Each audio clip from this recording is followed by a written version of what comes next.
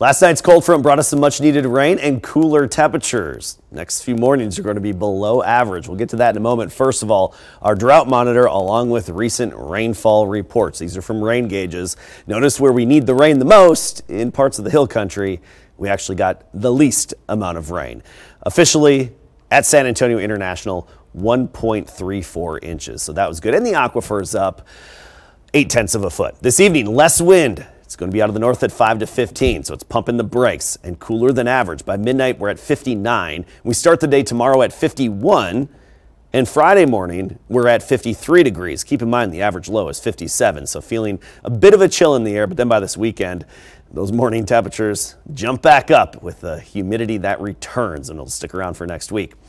By noon tomorrow, we're at 77, a high temperature of 83. Pretty much a carbon copy on Friday, still low humidity. Saturday, comfortable. 84, partly cloudy, but the morning fog with that higher humidity returns Sunday, even on into Monday, and then fairly gray the remainder of those days in the mid 80s. Next chance of storms is a small chance, 20% Tuesday and Wednesday.